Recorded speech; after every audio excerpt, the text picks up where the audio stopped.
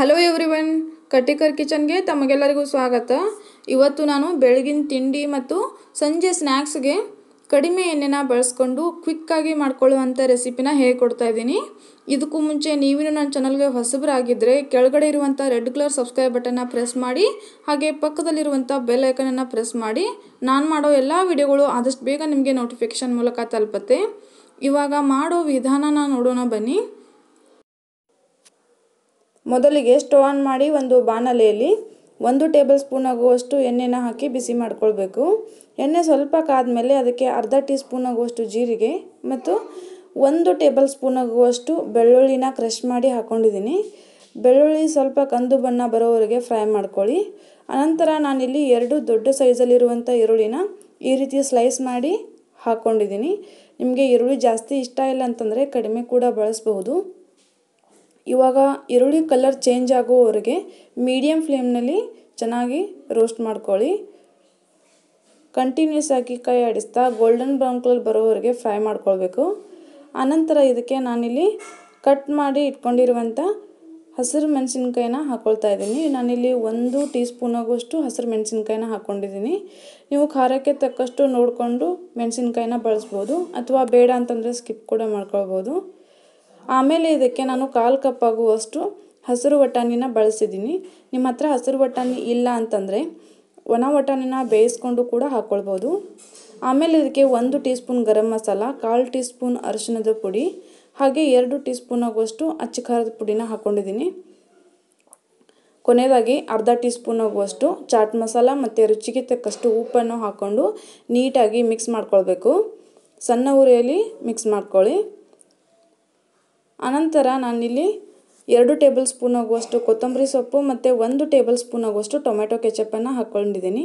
Tomato ketchup ಇಲ್ಲ ಅಂದರೆ skip ಮಾಡಿ ಅಥವಾ ಅದ್ರ ಬದಲಿಗೆ ಸೋಯಾ ಸಾಸ್ ಮತ್ತು ರೆಡ್ ಚಿಲ್ಲಿ ಸಾಸನ್ನು ಬಳಸ್ಬೋದು.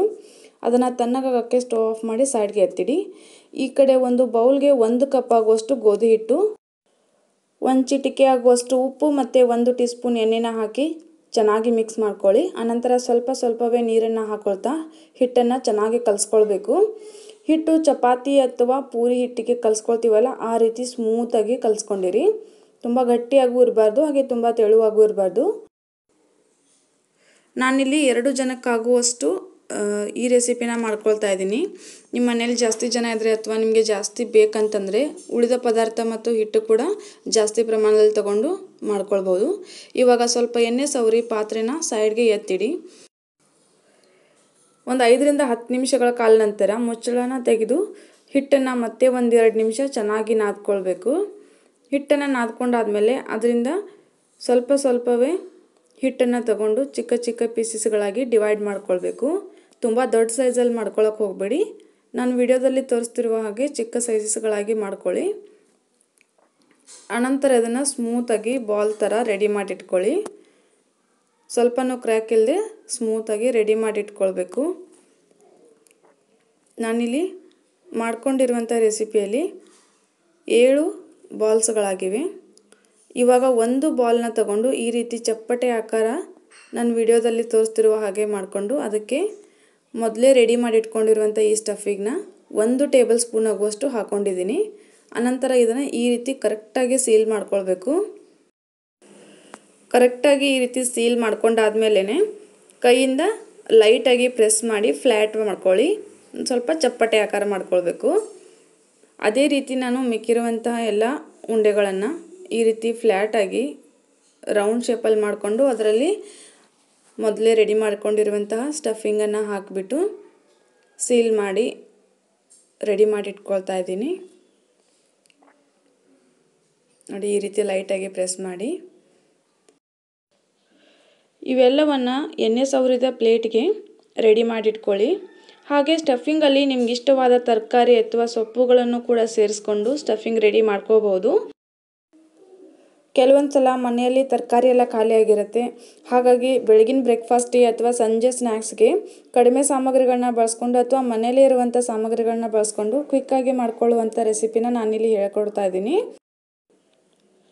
ಸ್ಟಫಿಂಗ್ ಪೂರ್ತಿ ತಣ್ಣಗಾದ ಮೇಲೇ ಈ ರೀತಿ ಫಿಲ್ ಮಾಡ್ಕೊಳ್ಬೇಕು. ನಾನಿಲ್ಲಿ ಅದೇ ಥರ ಎಲ್ಲವನ್ನು ರೆಡಿ ಮಾಡಿ ಇಟ್ಕೊಂಡಿದ್ದೀನಿ. ಇವಾಗ ನಾನಿಲ್ಲಿ ಮತ್ತೊಂದು ಕಡೆ ಸ್ಟವ್ ಆನ್ ಮಾಡಿ ಒಂದು ತವಾನ ಬಿಸಿ ಮಾಡ್ಕೊಳ್ತಾ ಇದ್ದೀನಿ. ತವಾ ಅಥವಾ ನೀವು ಪ್ಯಾನ್ನ ಬಿಸಿ ಮಾಡ್ಕೋಬೋದು ಈಗ ಇದಕ್ಕೆ ಒಂದು ಟೇಬಲ್ ಸ್ಪೂನ್ ಆಗುವಷ್ಟು ಎಣ್ಣೆನ ಹಾಕ್ಕೊಂಡಿದ್ದೀನಿ ಎಣ್ಣೆ ಕಾದ್ಮೇಲೆ ಅದಕ್ಕೆ ರೆಡಿ ಮಾಡಿ ಇಟ್ಕೊಂಡಿದ್ವಲ್ಲ ಅದನ್ನು ಒಂದೊಂದಾಗೆ ಈ ರೀತಿ ಶಾಲೋ ಫ್ರೈ ಮಾಡ್ಕೊಳ್ಬೇಕು. ನೀವು ಡೀಪ್ ಫ್ರೈ ಕೂಡ ಮಾಡ್ಕೋಬೋದು ಡೀಪ್ ಫ್ರೈ ಬೇಡ, ನಮ್ಗೆ ಎಣ್ಣೆ ಜಾಸ್ತಿ ಇಷ್ಟ ಆಗಲ್ಲ ಅಥವಾ ಕರ್ದಿದ್ದ ಎಣ್ಣೆ ಬೇಡ ಅಂತಂದರೆ ಈ ರೀತಿ ಶಾಲೋ ಫ್ರೈ ಮಾಡ್ಕೊಳ್ಬೇಕು. ಇದನ್ನು ಲೋ ಟು ಮೀಡಿಯಮ್ ಫ್ಲೇಮ್ನಲ್ಲಿ ಗೋಲ್ಡನ್ ಬ್ರೌನ್ ಕಲರ್ ಬರೋವರೆಗೆ ಎಲ್ಲ ಕಡೆಗೆ ರೋಸ್ಟ್ ಮಾಡ್ಕೊಳ್ಳಿ. ಒಂದು ಎರಡರಿಂದ ಮೂರು ನಿಮಿಷದ ನಂತರ ಮಗಚಿ ಇನ್ನೊಂದು ಬದಿಗೆ ಬೇಯಿಸ್ಕೊಳ್ಳಿ. ಇದೇ ತರಹ ರೆಡಿ ಮಾಡಿಟ್ಕೊಂಡಿರುವಂಥ ಮಿಕ್ಕಿರೋದನ್ನು ಕೂಡ ಚೆನ್ನಾಗಿ ರೋಸ್ಟ್ ಮಾಡಿಕೊಂಡು ಒಂದು ಪ್ಲೇಟಿಗೆ ತೆಗೆದಿಟ್ಕೊಳ್ತಾ ಇದ್ದೀನಿ. ಇದು ಬೆಳಗಿನ ಬ್ರೇಕ್ಫಾಸ್ಟ್ ಅಥವಾ ಸಂಜೆ ಸ್ನ್ಯಾಕ್ಸ್ಗೆ ತುಂಬ ರುಚಿಕರವಾಗಿರುತ್ತೆ. ಇದನ್ನು ಟೊಮೆಟೊ ಸಾಸ್ ಅಥವಾ ಗ್ರೀನ್ ಚಟ್ನಿ ಜೊತೆ ತಿನ್ಬೋದು. ಇದು ಹೊರಗಡೆ ತುಂಬ ಕ್ರಿಸ್ಪಿಯಾಗಿರುತ್ತೆ ಹಾಗೆ ಒಳಗಡೆ ಸ್ಪೈಸಿಯಾಗಿ ಮತ್ತು ಜ್ಯೂಸಿಯಾಗಿರುತ್ತೆ. ಈ ರೀತಿ ಕ್ವಿಕ್ಕಾಗಿ ಮಾಡ್ಕೊಳ್ಳುವಂಥ ಬ್ರೇಕ್ಫಾಸ್ಟ್ ರೆಸಿಪಿ ಅಥವಾ ಸ್ನ್ಯಾಕ್ಸ್ ರೆಸಿಪಿ ನಿಮಗೆಲ್ಲರಿಗೂ ಇಷ್ಟ ಆಯಿತು ಅಂತ ಭಾವಿಸ್ತೀನಿ. ಇಷ್ಟ ಆದರೆ ಲೈಕ್ ಮಾಡಿ, ಶೇರ್ ಮಾಡಿ, ಕಮೆಂಟ್ ಮಾಡಿ. ಮತ್ತಷ್ಟು ಹೆಚ್ಚಿನ ವಿಡಿಯೋಗಳಿಗಾಗಿ ನನ್ನ ಚಾನಲ್ಗೆ ಸಬ್ಸ್ಕ್ರೈಬ್ ಆಗಿ. Thank you for watching.